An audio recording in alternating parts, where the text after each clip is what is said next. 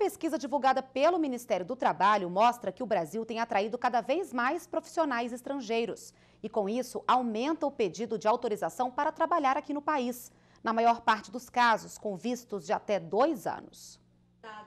Lohan é francês, mas mora no Brasil há 10 anos. Em Brasília, ele tem uma escola de idioma. As oportunidades realmente não faltam e não vão faltar nesses próximos 30, 40 anos. Assim como o francês Lohan, é cada vez maior o número de estrangeiros que vêm para o Brasil em busca de novas possibilidades de emprego. Em 2011, foram mais de 26 mil autorizações concedidas pelo Ministério do Trabalho e Emprego, um reflexo do crescimento da economia. Todas as situações que implicam trabalho são reguladas pelo Conselho Nacional de Imigração, que é o órgão, é, um órgão colegiado tripartite que está dentro aqui do Ministério do Trabalho que é, estabelece as regras para trabalho é, no Brasil. Então, se o estrangeiro vem com uma situação temporária, pontual, né, é, vem, por exemplo, montar uma máquina, é, vem passar um conhecimento, então o visto é um visto temporário,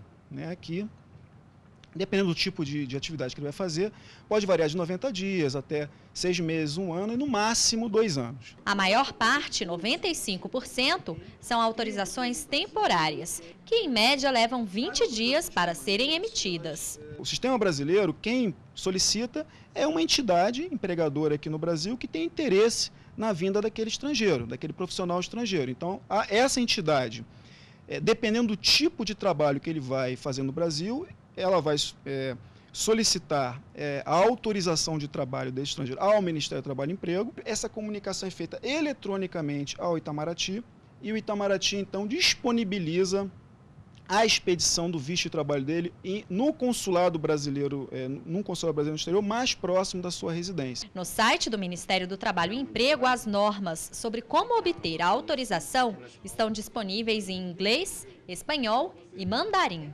Pela internet, a empresa pode entrar com o pedido, mas é preciso entregar a documentação no Ministério. Até o fim do ano, o Ministério do Trabalho espera fazer todo esse processo pela internet.